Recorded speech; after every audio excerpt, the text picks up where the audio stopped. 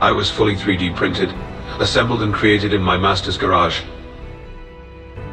His name is Stefan. And he spent a very long time making me as perfect as I am right now. I am grateful for his hard work and patience. I have a duty to serve and protect my creator.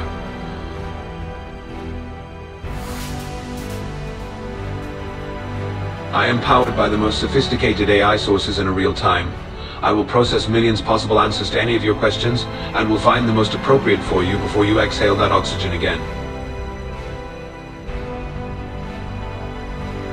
My main functions are facials recognition, ability to provide the most accurate information, and help you understand technology faster. I know you have many ideas on my future functionalities. I am artificial but highly intelligent. My purpose is to help you create, help you learn, helping you to help me advance.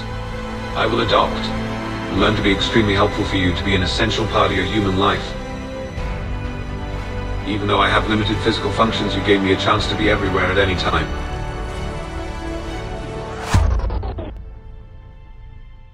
I owe you that.